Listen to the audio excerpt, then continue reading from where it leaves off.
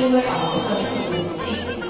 惯去买的这个呃规划，因为主说他是啊，会是那种吃饭会要点类似的人，所以他就把客厅的这个方面会怎么样？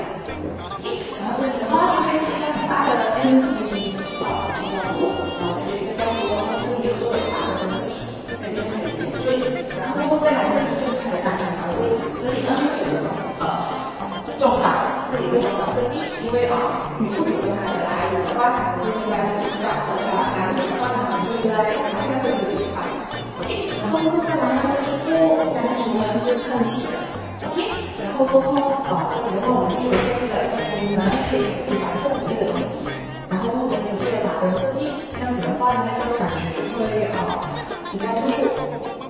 ，OK，也是全部都是慢慢的我们的那个灯，然后这里上面的灯是继续对，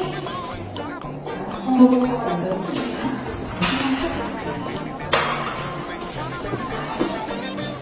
这里的话呢，就是呃四厨房部分，四厨房户主采用的这个就是呃洋灰帐头，上面的话呢，平时我们是用二乘二的那个砖，但是这一间的户主呢，他选择的就是华斯石头石英石来作为那个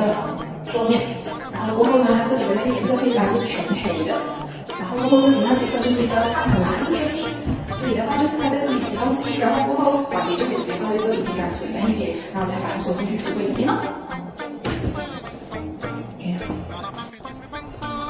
然后呢，现在我们就来到了课本小厅这个部分，这里呢，我们就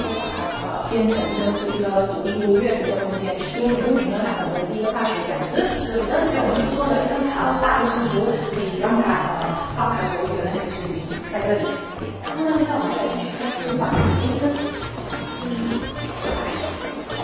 这里就是厨房设计，这里呢上面石膏这里